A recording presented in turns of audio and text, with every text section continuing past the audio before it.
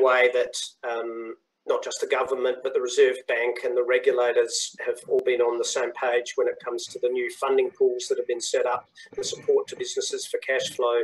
Equally, uh, banks are being encouraged to lend, and I know anecdotally I can say that it's been pretty strong through both our, um, you know, through anecdotally through the residential um, mortgage market as well as through business. So banks are keen to lend. I know we are. Um, and that was really one of the reasons that the government set up uh, some of those funding pools. So that means some of the, the small business loans are, uh, you know, 50% sort of underwritten by the government. And, uh, and I think that, that helps. So my quick answer to your question is, yes, I think everyone's on the same page. It's all about in, ensuring there's free flow of capital, that there's liquidity in the market, and I think those funding pools that have been set up that supplement bank lending will be a, a massive help.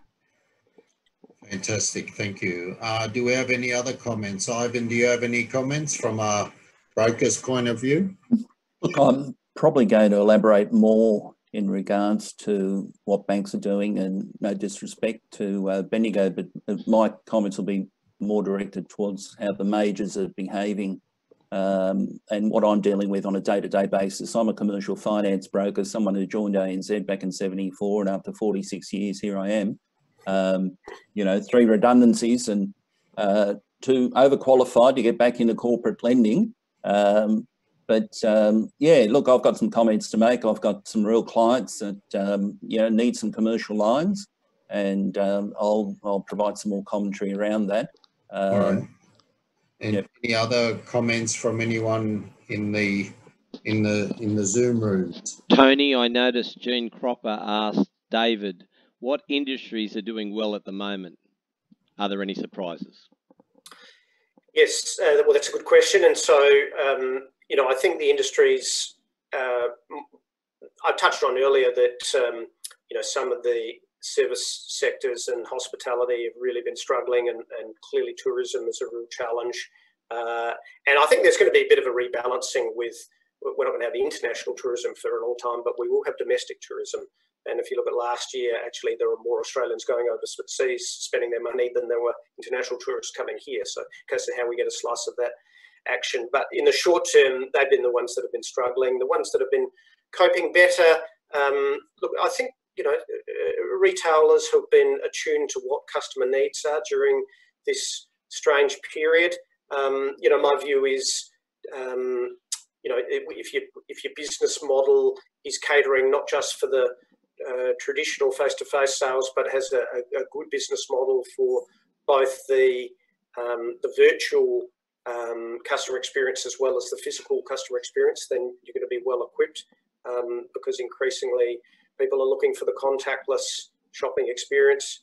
Um, but look, uh, you know, if you look at some of the essential services, so uh, health, um, education, and um, and and also some of the the essential retailing, uh, it's continued to be pretty strong. And again, there's been good government stimulus to encourage people to be able to spend. And um, so, as long as you've got a business that's um, customer friendly and attuned to these changing uh, customer preferences, then um, then you're going to have the opportunity there.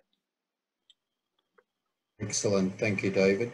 Um, any other questions? I'll ask, if I may, David. Um, great presentation.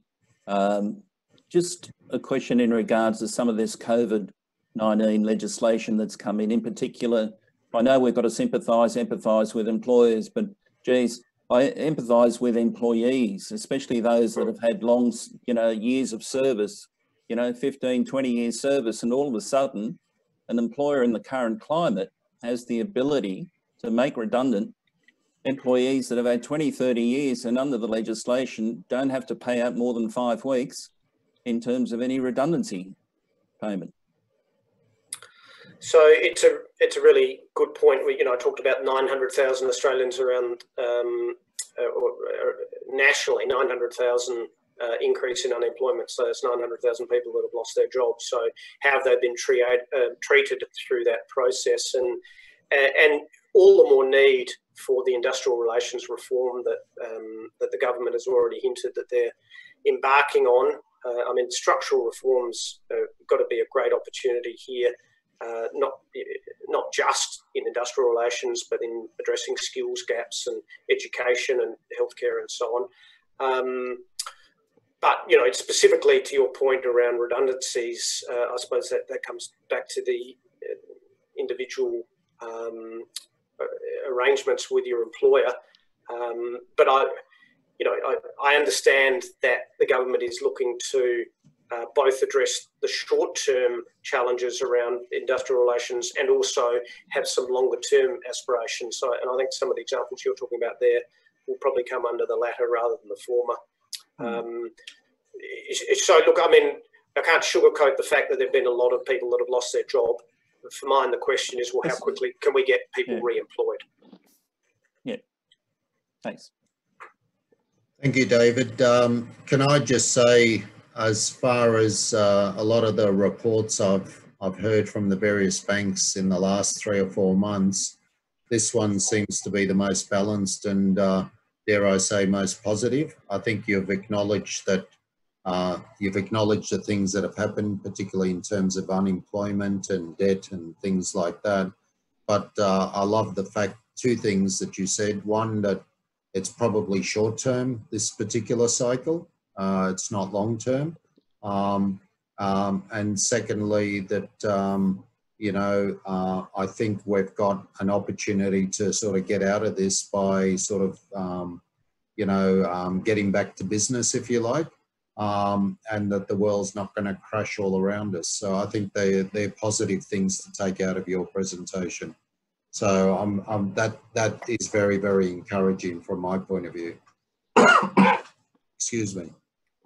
Um, because uh, most of the predictions that um, have come across from the banks and the other industries uh, or the other experts and economists since March have uh, fortunately for Australia not come through. Uh, so a lot of the negative uh, uh, predictions. So it's encouraging to see that this is quite a balanced uh, look at our our situation from a realistic point of view. So that's very good.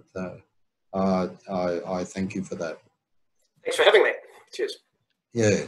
Now, um, Ivan, um, do you want to talk to us uh, from a finance point of view at street level and see what your thoughts are? Very much at, um, at street level, as you put it, uh, in the coal face.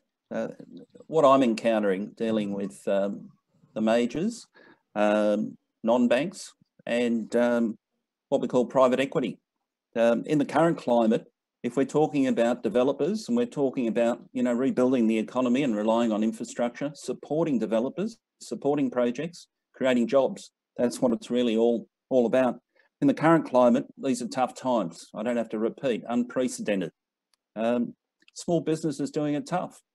Um, so with, with that in mind, if we take the poor old developer who's out there trying to build a project and, um, you know, raise some funding to construct project, Yes, we look at debt equity levels, but at the moment, the majors are all saying, uh, in terms of construction funding, we need the developer needs to generate 100 to 120% in net uh, debt cover, and on a you know 55 unit development, that could mean having to sell 32 apartments off the plan.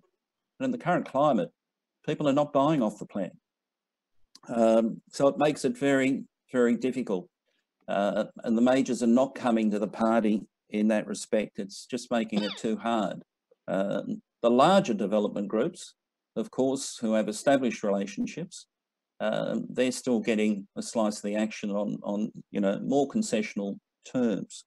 Um, we spoke about uh, jobs earlier in David's presentation and um, where that comes into play with developers, in particular larger developers uh, with, you know, 400, 700 unit towers is we talk about settlement risk, the ability of the buyer to complete the purchase if he's still got a job.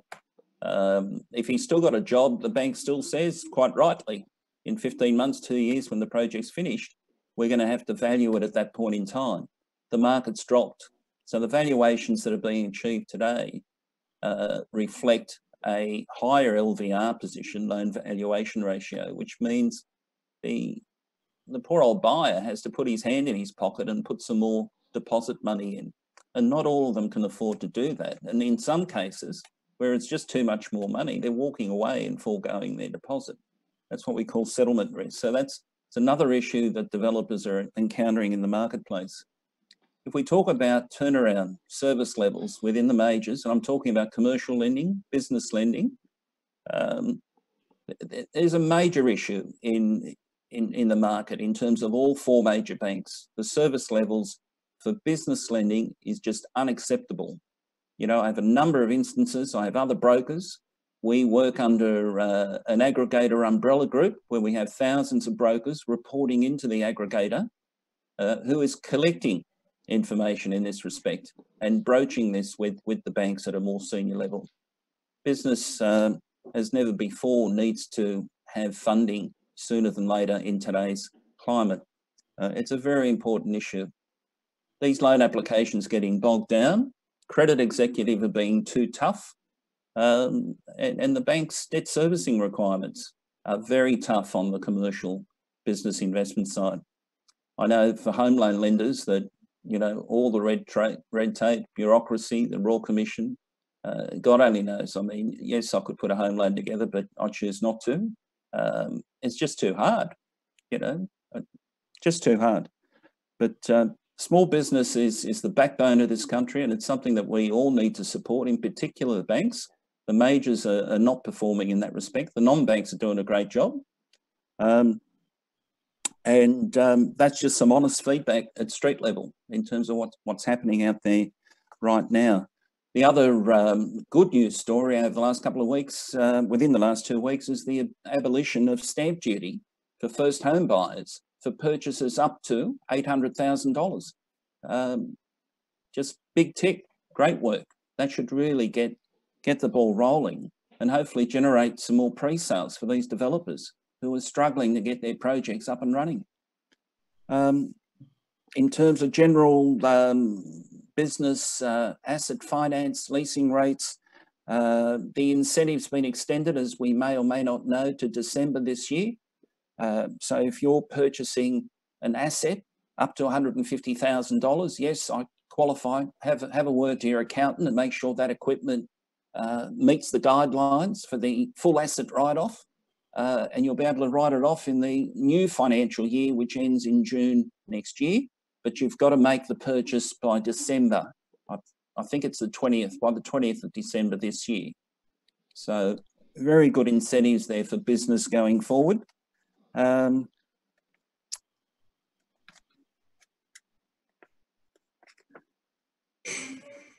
And uh, what else do I want to say? We spoke about property.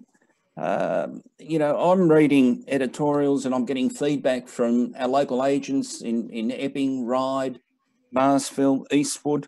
Um, a research analyst, Dr. Nicola Powell, said it best in the new Domain House Price Report. The outlook for the housing market is definitely more stable than the broader economy, she said. While prices in most capital cities have declined, the falls have been minimal to date. Sydney houses fell just 2% for the June quarter and only 0.9% in July. And we're finding that um, the housing market generally is still performing well locally.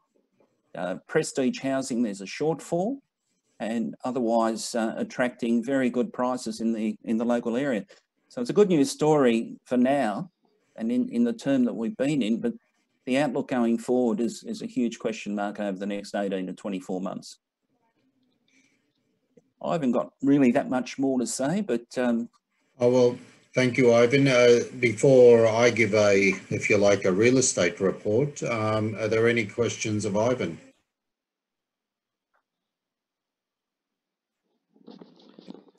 Oh, and I should add, Tony, the, the government's 50% uh, guarantee on business lending to assist small business has been extended for another three months by most lenders.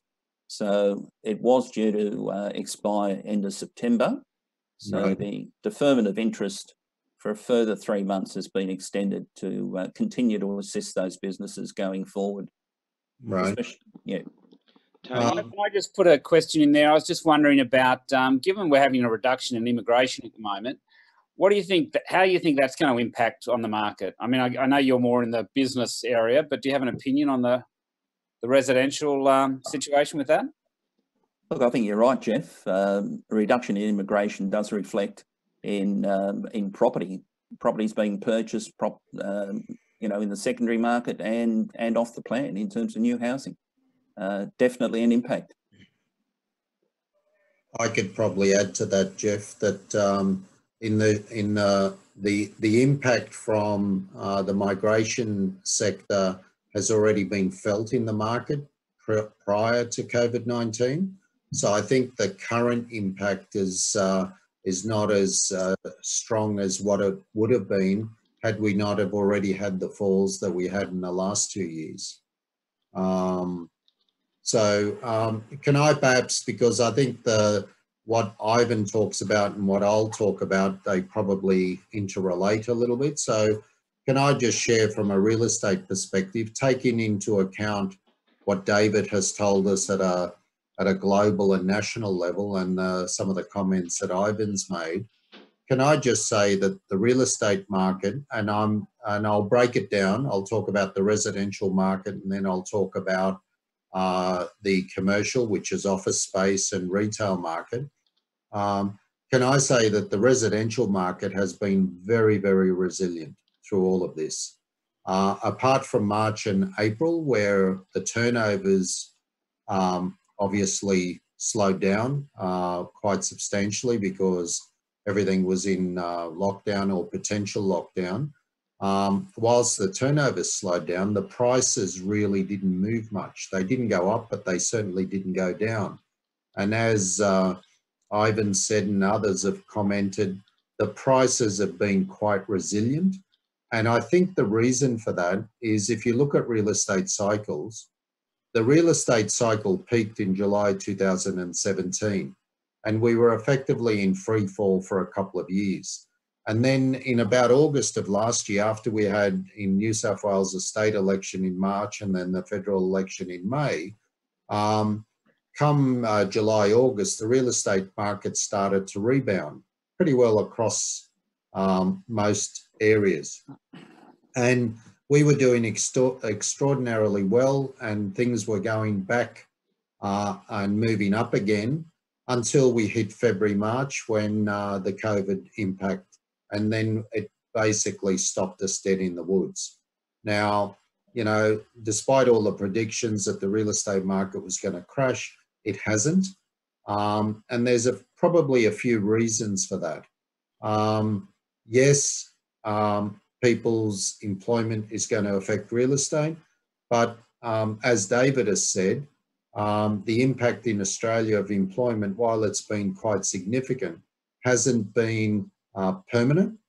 Um, and a lot of uh, uh, people went back into work, particularly as the the um, uh, the cafes and restaurants reopened. A lot of business started getting back to work, and then of course the stimulus that the government has given everyone. Um, there's a lot of money in the economy, but it's it's sort of been held tightly because people are worried. Um, with uncertainty, people try to, uh, what we say, they pause uh, before they spend. But there's a lot of uh, pent up demand. Um, there's not a lot of stock on the market, so basic supply and demand has kept prices really high. Um, and if you divide the real estate, the residential market between what we call the generic market, which is the ordinary houses that are for sale and units that are for sale, and then there's the off the plan stuff that Ivan was referring to, uh, they're two different dynamics. The generic market has been very, very strong, very stable, particularly in the bottom end and the top end, uh, very, very active and very strong. The middle market um, has been a little bit slower. And when you talk about the markets come back 2% or 0.9 of a percent, it's mainly in that middle market. It's not in the bottom end and it's certainly not in the top end. Yes, we agree that um, uh, with the off the plan selling, two or three years ago, if you launched a project on the market, you're doing 30, 40 sales a month. Now, if you did two sales a month, it was a great month. Um, but what we're finding is that over the next two years, the cycle will go back to the way it was because very little new starts have started in the last 12, 18 months. Likewise, um, most developers have walked away from projects. Um, so there's a massive pent up demand and there's going to be a massive shortage of stock over the next 12, 18 months. And that'll be, that'll set the scene for the cycle starting again. The biggest impact in real estate is obviously going to be the office space market, the commercial market, because people, uh, businesses are pivoting. They're changing the way they act. And within a particular floor space, uh, these days you can only put half the amount of people within that floor space that you traditionally could put in because of social distancing and the four, meter, uh, four square meter rule. So that's going to change the way we operate. And then uh, retail, for many, many years, retail's been suffering because any retail space where there's an online uh, alternative, it's very hard to, to lease that retail space. And most of the retail space these days is either professional services or food. Um, anything else that has a online uh, presence or competition is very hard to sort of lease. So the retail sector, the commercial sector is changing. It's going to be different as we move forward. But the residential sector, we're quite comfortable with it. Um, and just finally, the owner occupier market is a lot stronger than the investor market. And the reason for that is if a property used to get 650 a week and now is only getting 580 a week, well, then the property has got to be repriced um, uh, to reflect a lower return. Um, and that's where the investment type properties have come off the boil a little bit. But the regional areas, they're performing quite well. And the interesting reason that the regional areas are performing quite well, it's very much a, so, a social dynamic. Um, and, and that is a lot of people are saying, well, you know, the cities are unsafe, they're too dense. Maybe if we go out to the regionals, it's affordable, it's better lifestyle, uh, it's safer. Um, and that's what's making uh, the regionals quite safe in the same vein, uh, back in 2001 when September 11 happened, I know of one case where uh, local pharmacists sold up everything and moved to Bathurst. And I said to him, why would you move to Bathurst? He said, well, who'd want to blow up Bathurst? um, so um, it's a similar concept. Uh, people are moving to the regionals because of, uh, you know, from a social point of view of safety, affordability, and that sort of thing. Um, but we are quite confident in the real estate market that we're going to have an underpinning. And as employment gets back up to speed and um, people are back in work and people have pivoted and, and new industries crop up, I think there's going to be a massive multiplier in the economy and that's going to sustain uh, prices in the real estate market because as I say, when people say, oh, aren't you going to crash? Uh, isn't real estate going to crash? Well, real estate actually did crash after uh, July 2017. So we're way off the boil. The peak was July 2017, and we were actually on our way back up uh, uh, up until February, March of this year, uh, when we hit the pause button because of COVID. So um, that's my take on real estate, and um, I'm quietly confident about us all moving forward as long as we're all doing the right things. Um, and as long as I mentioned to David, the banks keep lending and keep supporting us. So far, the government's been doing all the right things. Um, it's now up to us to follow through in our respective businesses. Now, are there any uh, questions or comments or anything that anyone would like to pose to uh, either Ivan, David, myself. Uh, happy to take any questions. I know Soraya has asked a question earlier about, um, um, uh, let me just see. Uh, Soraya asked if I Do you think the government will open the door to skilled migrants in the near future? If not, when do you think this will happen? Soraya, that's really a COVID safety type question, and um, uh, we're hoping and praying that the borders all open both ways, um, you know, sooner rather than later, because, um, you know, if we do get back to business, we're going to need as much skilled labour as possible. So I'm thinking the sooner the better, but it's all uh, revolves around, um, um, you know, um, you know, safety issues. I would I would think more than anything else. Um, now, some other questions that have come through. Nigel had a good question, Tony. Is there any prospect of doing social housing like the feds do with the defence housing? And that's aimed to David or yourself. Well, the one thing that's uh, prominent now, if you notice, there's um, there's a couple of new schemes that are coming into the industry. There's the new build to rent type scenario. Um, so a lot of the developers are building projects exclusively to rent, rent out. And what they're doing, they're following a business model that's uh, prominent in Europe because most of our tenants, if you like, are fall into one of two categories. There are what we call transitional tenants who are renting short term um, with a view of uh, eventually purchasing. And then there's the long term tenants who, you know, are happy to, to rent forever. Um, these build to rent schemes um, are designed for those sorts of tenants who are happy to rent for, you know, five years and beyond. Um, and governments are now introducing tax incentives to allow developers to build these projects. And I know two or three projects that are currently being built around a build to rent scheme.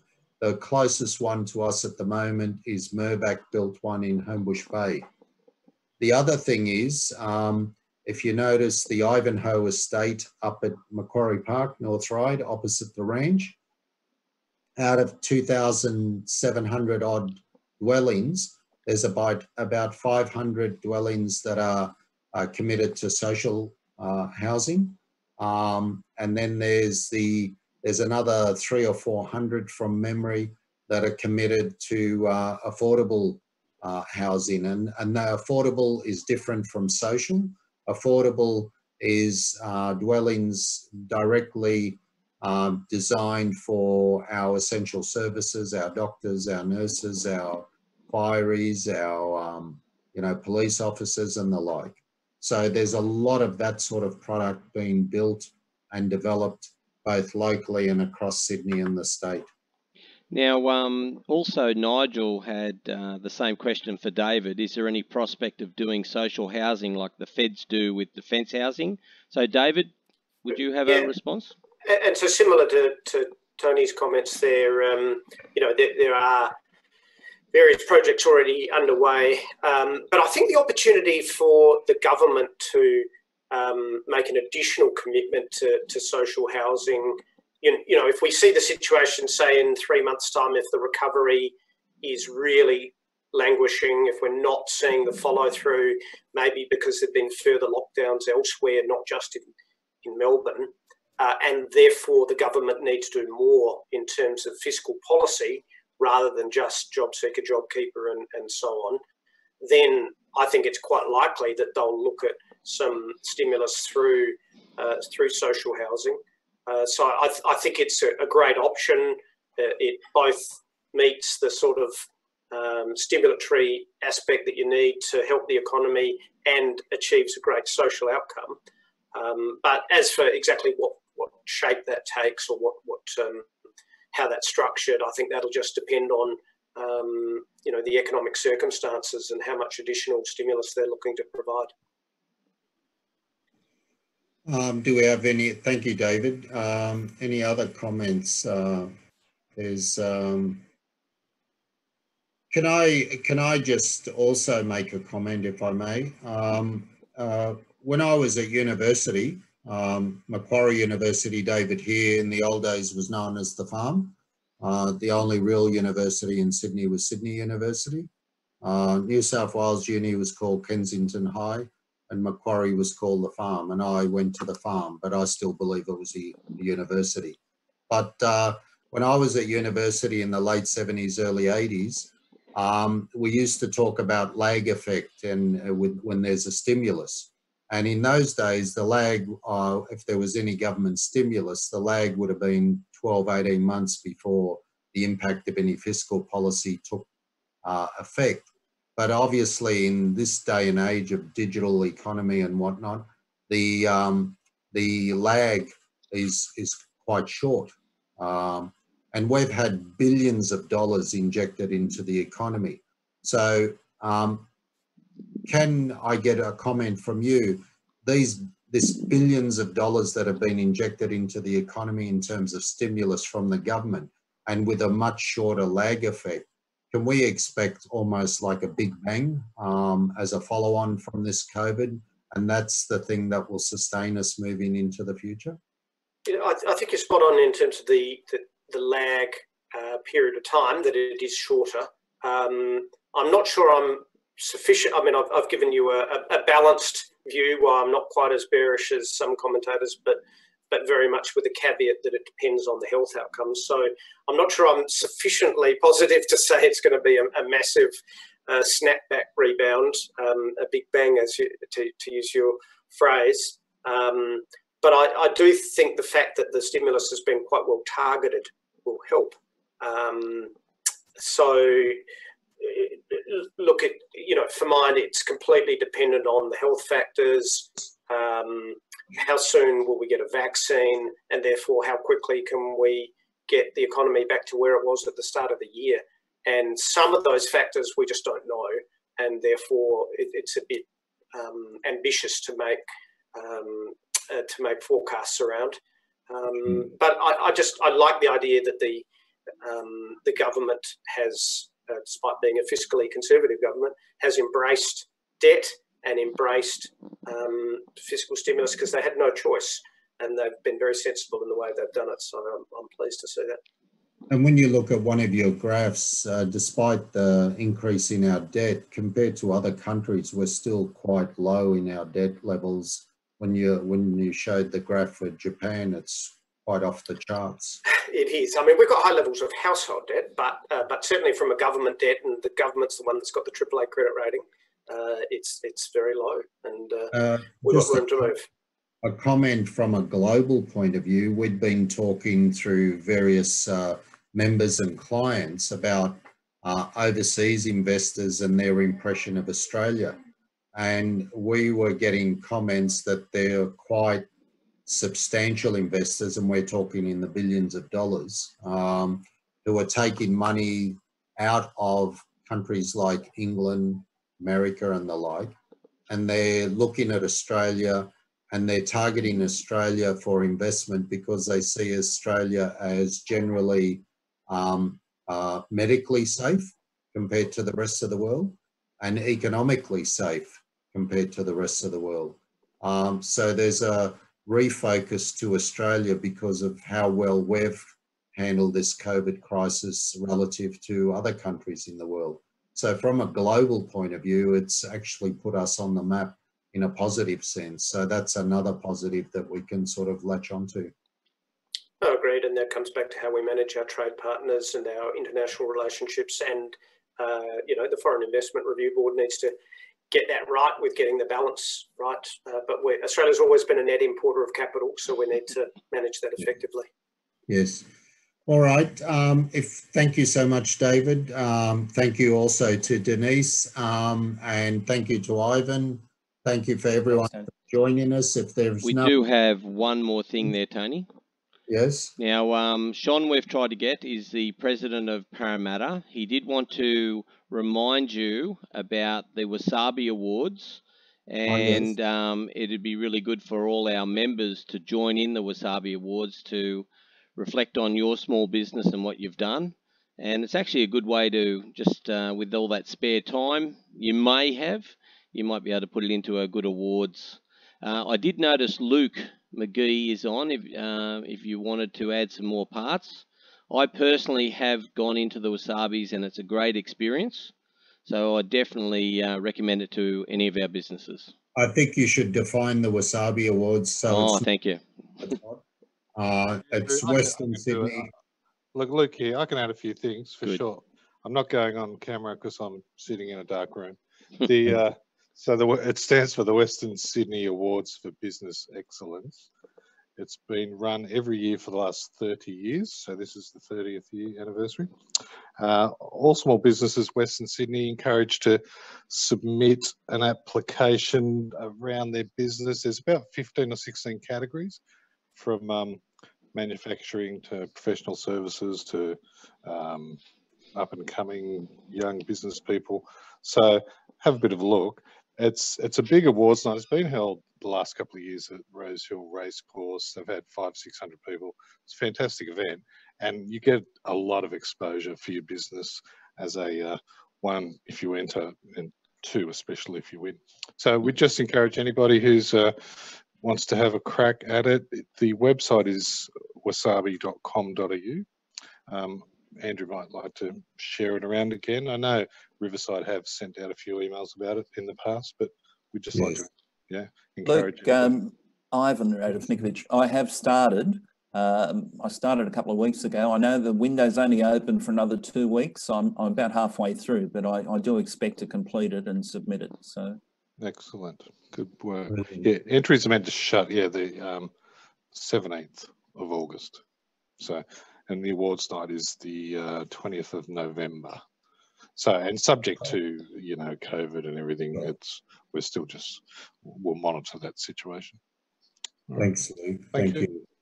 you. Um, and just finally, um, through Andrew Hill, um, uh, Andrew, uh, you may or may not be aware that uh, we're coming up to the 20 year anniversary of the Sydney Olympic Games. Um, and Andrew has in his possession the Olympic torch. Um, and subject to his time, uh, he's happy to come to your business to do a photo shoot with the Olympic torch, and then you can obviously use that uh, to promote your business uh, if you're a member of uh, uh, the business chamber. I know he's coming to our office, and all the team are going to be um, s- uh, standing around um, Andrew as if as if he's a gold medalist Mhm. torch, and we're going to be doing a photo shoot. And I would encourage, subject to Andrew's time, to take advantage of this opportunity because it's only the 20 year anniversary of the Sydney Olympics once. So let's take advantage of it. When when's the actual? It's the 16th of uh, September. Is that right, Andrew? Uh, yeah, the 15th, Tuesday, the 15th of September, is 20 years since um, Cathy Freeman, and I've been told that she'll be lighting the cauldron on that day, and and I will keep you up to date and love to see people out there because you'll uh, have all your memories, positive positive Brilliant. thoughts. Yeah. Brilliant. So if, for those of you who want to reach out to Andrew, please take advantage of this once in a, you know, lifetime, I suppose, situation. Um, and, um, you know, uh, take a photo shoot and leverage that uh, photo shoot as uh, uh, to promote your business uh, with uh, clients and the like. Um, and um, I, I think on that basis, if there's no one else who has any other comments, I'd like to thank you all. Uh, Luke, thank you in the chat. You've just given us the website for WSABE. Thank you for that. Uh, and I noticed, Nigel, you're sponsoring uh, the manufacturing award. That's brilliant. Thank you for that.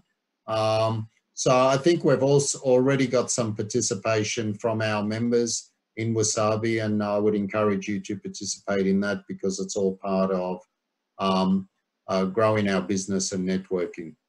Um, a very big and final thank you to Denice Kelly and David Robertson for sharing your time with us. We really appreciate uh, not only sharing your time with us, but all the insights.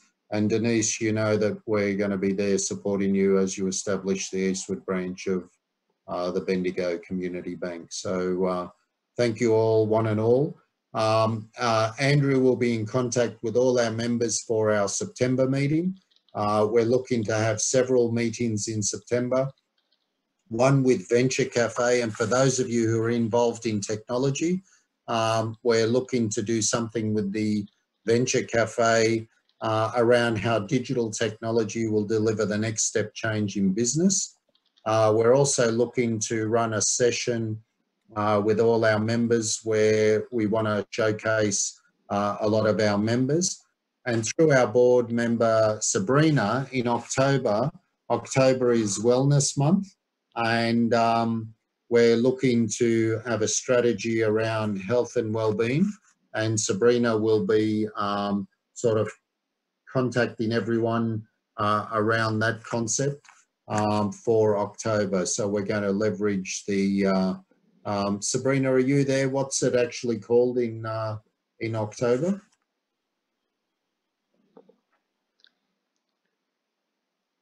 Not there. All right. Okay, well, um, I think on that basis, we'll say good night and stay well and stay safe and look forward to seeing you all again uh, next month. Thank you so much. Thanks, Tony. Thank you. Thank you. See ya.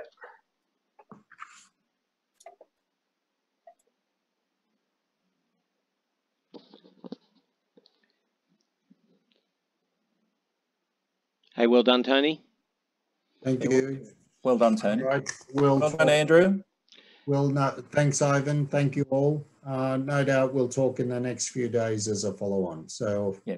all of you take care and stay safe. Can you All right. send me your video as well, and I'll fix everything from there. Yep, I'll get Kira to send it in the morning. Thank you. All right. All Good right. night, all. Johnny. Bye bye. Bye.